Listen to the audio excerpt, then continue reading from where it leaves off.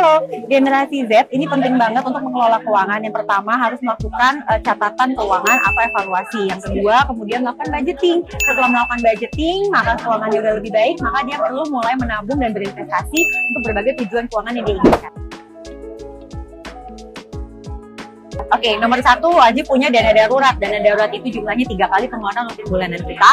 Kemudian yang kedua, dia perlu untuk membuat tabungan khusus yang memang ditujukan untuk financial goals dia. Jadi terserah mau uh, nabungnya untuk apa aja, tapi penting banget untuk punya satu tabungan khusus dan juga investasi khusus. Pada saat mau menghemat, maka kuncinya adalah prioritas. Harus paham yang namanya kewajiban, kebutuhan, dan keinginan. Pada saat seseorang sudah mampu memilah itu semua, maka saya jamin pos pengeluarannya juga pasti akan lebih terkendali.